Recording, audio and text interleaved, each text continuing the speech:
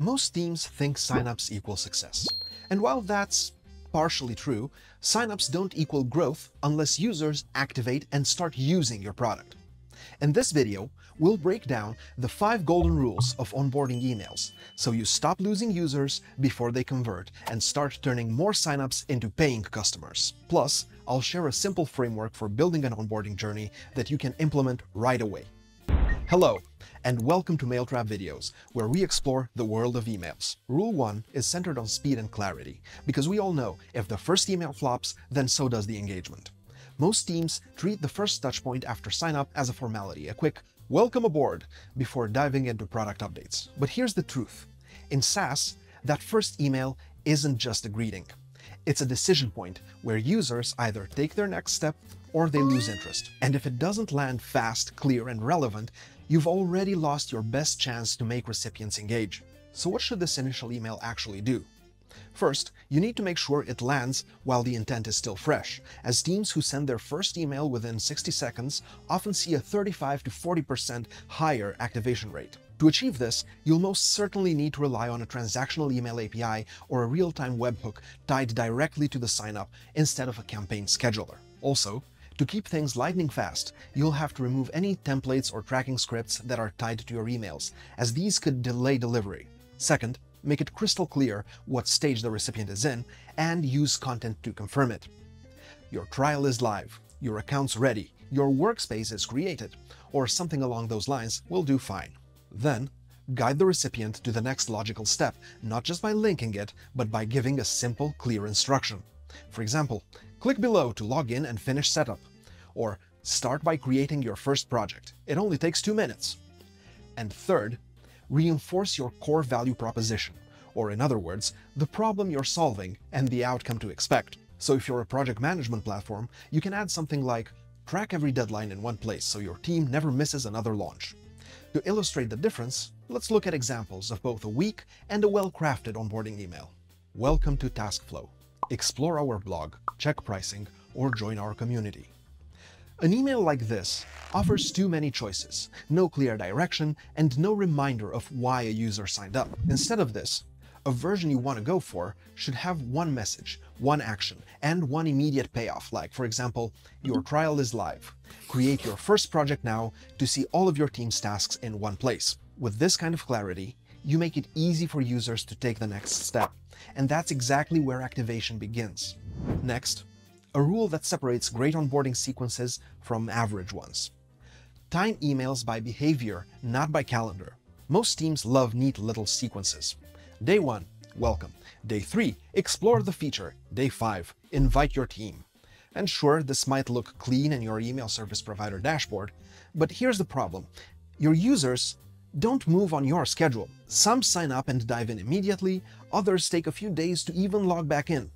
So when a day 3 email lands saying, try this feature, before they've even seen the dashboard, it feels out of touch. And as you would expect, users ignore emails that don't match where they are in the journey. That's why behavior-based triggers outperform calendar-based ones every time. And it's been proven by companies like Appcues, who boosted activation two and a half times after redesigning their onboarding to trigger messages based on user behavior rather than static timelines. Quite a jump if you ask me. So, what does implementing those triggers look like in practice? First, you need to connect your email system to a product analytics tool like Segment, Mixpanel, or Amplitude. Also, you need to make sure to use in-app events such as first login, project created, or no activity 3 days as triggers. This way, your messages can react to real user actions, not educated guesses. Second, match each email to the user's current context by using a pattern similar to this. First login, send a quick start guide. First project created, suggest the next key feature. No activity after 3 days, send a gentle nudge. Milestone reached, celebrate progress and show the next step.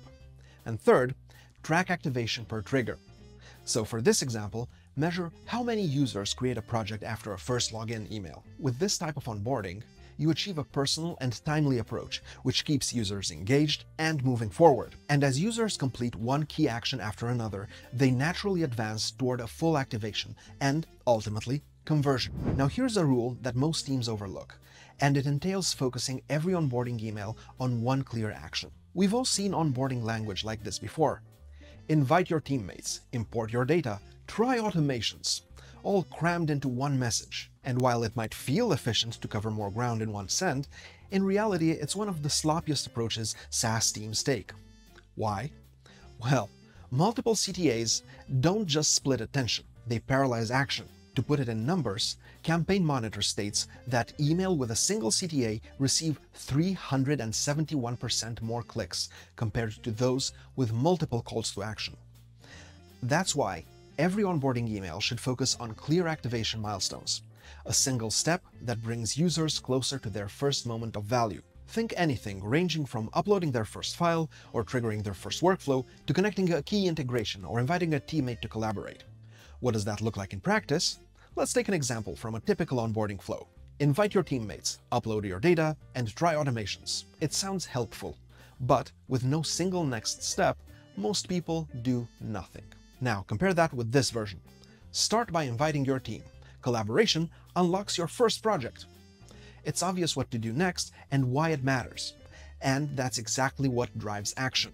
By guiding users towards one meaningful action at a time, you remove decision friction and you build steady forward momentum. From there, as users see your product solving real pain points, conversion becomes a natural next step. Think your job's done after setup? Not quite. The next rule we cover is all about keeping users engaged with ongoing wins, aka success loops. Have you made this communication mistake in your onboarding sequences? Account created, checklist complete, and then silence. A strategy like this is a classic example of an onboarding journey that stops the moment setup is done. In theory, this looks fine, but in real-life scenarios, it's a crucial error that prevents you from creating loyal users. In fact, SaaS platforms that stop communicating after setup lose up to 30% of users before the first renewal cycle. This is the exact reason why the smartest teams build sequences sprinkled with success loops, small, continuous reinforcements that show progress and value in action. A success loop can take different forms, but some common ones you'll see typically go along the lines of You've completed setup, great job. You saved three hours this week by using automations. Teams like yours grow two times faster with this feature. They tell users you're doing it right, you're seeing results, keep going. And that's where the conversion magic happens. Let's put that into perspective with two onboarding messages. Your account is ready, setup complete. Technically correct, but emotionally flat. No reminder of value, no reason to come back, and two weeks later, that user's most likely gone cold. Now compare that to this message. You've automated three tasks this week, saving two hours already. Next, connected integrations to scale even faster. This version gives users a reason to stay engaged instead of checking out after setup. And that's the difference between an onboarding flow that fades out and one that keeps users moving towards activation. As the last rule, we have a simple one. Onboarding works best when everyone's in sync. Like other stages of the SaaS customer journey, onboarding is a cross-functional mission, and for a few key reasons. If marketing builds the flow alone, it might look polished, but it also might miss product timing. If product owns it, it might be precise, but lack warmth and clarity. If customer success runs it, it might feel human, but it will fail to scale. So in a nutshell, great onboarding happens when all these teams operate from the same activation map. And here's how your team could handle that task. Start by mapping out your key activation milestones like first login, first prospect created, or integration connected. Then, assign clear owners for each touchpoint. Who writes the message, who triggers it, and who monitors what happens next. From there, marketing sets the tone and expectations before and after signup. Product triggers messages based on real behavior, and customer success steps in where friction appears. Just don't forget to sync weekly across teams to review user progress and fix friction fast. This way, no matter who presses send, the user gets one unified experience. Okay, now that we've covered the five golden rules of onboarding emails, it's time we talk about building a foolproof onboarding journey.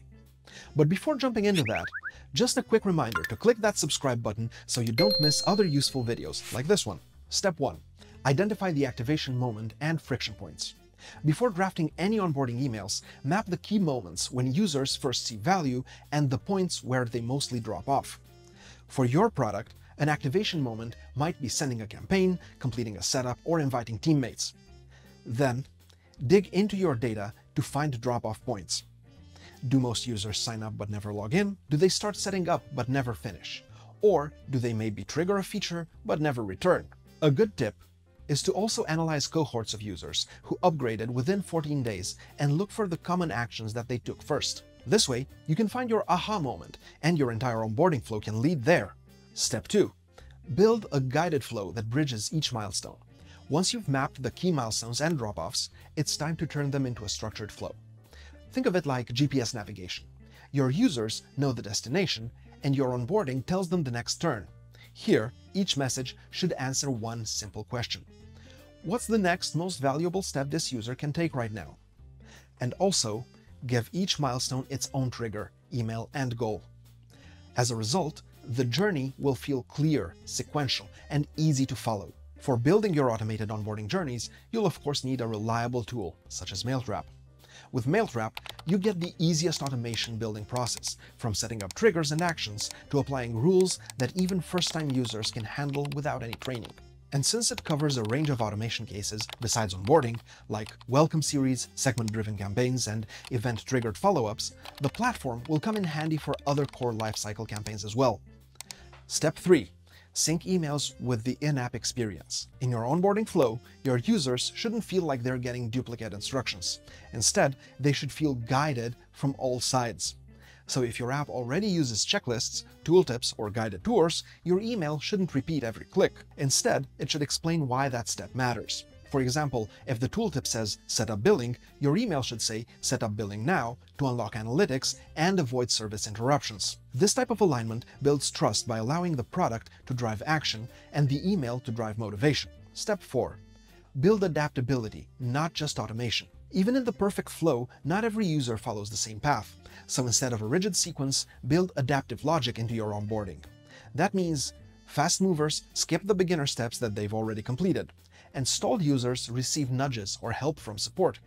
When it comes to different roles, like admins and users and execs, they should all get messages tailored to their own goals. This kind of personalization keeps every message timely, relevant, and useful, not generic or repetitive. Because onboarding isn't about sending more emails, it's about sending the right email at the right time so every user keeps progressing toward activation. Step 5. Measure success by business impact. Even when your onboarding system is live and running, the job isn't done yet. And no, you shouldn't waste time looking just at vanity metrics like open rates and clicks.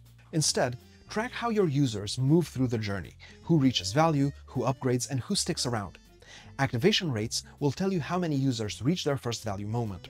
Trial to paid conversion will be your ultimate ROI signal. And retention at 30 or 60 days will determine whether early engagement leads to loyalty. Every email, every milestone, every adjustment should move one of these metrics.